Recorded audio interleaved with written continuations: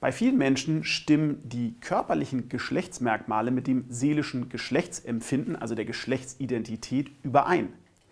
Was ist aber, wenn das nicht so ist und wie kann man die biologischen Hüllen des Geschlechts sprengen und zumindest juristisch dem Geschlecht zugehörig sein, ja, dem man sich eben auch verbunden fühlt?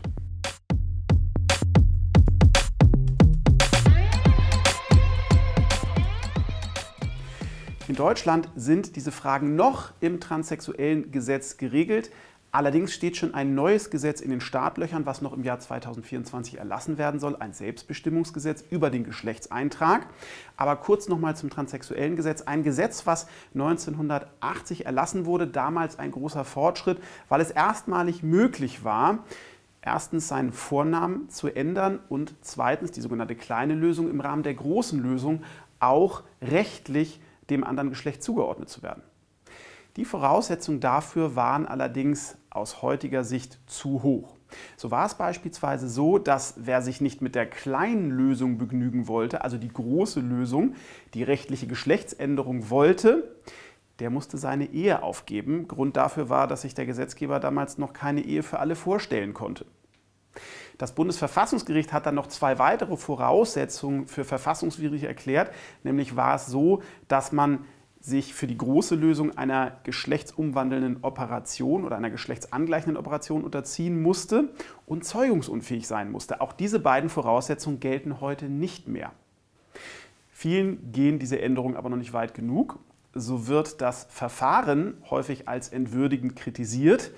Es bedarf nämlich eines entsprechenden Antrags beim Amtsgericht. Das muss dann die antragstellende Person von zwei Gutachtern begutachten lassen. Die müssen herausfinden, ja, ob sich an diesem Geschlechtszugehörigkeitsempfinden zukünftig wahrscheinlich auch nichts ändert. Und man kann sich vorstellen, dass im Rahmen dieses Gutachterprozesses auch der antragstellenden Person Fragen gestellt werden, die eigentlich ehrlich gesagt ja niemanden etwas angehen. Damit soll jetzt aber mit dem neuen Gesetz über die Selbstbestimmung über den Geschlechtseintrag Schluss sein. Dieses Gesetz kommt wahrscheinlich noch im Jahr 2024 und danach bedarf es jetzt keiner Begutachtung durch dritte Personen mehr, keine Zustimmung einer dritten Person, es sei denn, man ist minderjährig. Ansonsten kann man durch eine einfache Erklärung gegenüber dem Standesamt Vornamen und Geschlechtseintrag ändern. Lediglich eine Antragsfrist von drei Monaten zuvor muss eingehalten werden.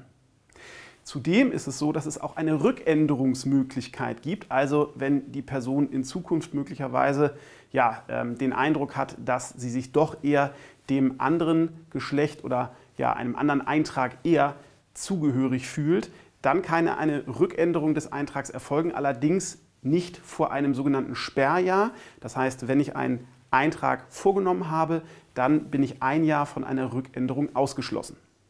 Interessant ist vielleicht auch nochmal zu wissen, welche Bereiche dieses neue Gesetz ausdrücklich nicht berührt. So wird es beispielsweise Sportverbänden ausdrücklich freigestellt, ob sie beispielsweise einer ja, biologisch als Mann geborenen Person, die dann rechtlich eine Frau ist, ja, es zugestehen, in beispielsweise einem Leistungssportbereich der Frauen teilnehmen zu lassen.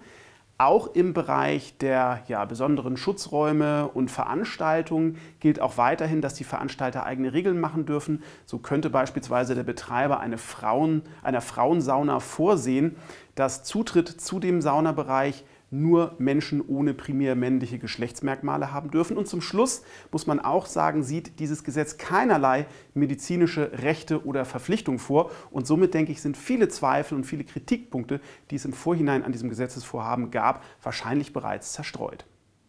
Meine persönliche Meinung ist, dass dieses Gesetz für den ganz, ganz überwiegenden Teil unserer Gesellschaft völlig irrelevant ist, während es für eine verhältnismäßig kleine Gruppe von Personen sehr, sehr wichtig, ein wichtiges Anliegen ist. Und daher gehe ich auch davon aus, dass äh, völlig zu Recht dieses Gesetz auch erlassen wird, in Kraft treten wird und wahrscheinlich auch ja, sehr unaufgeregt uns in Zukunft einfach begleiten wird.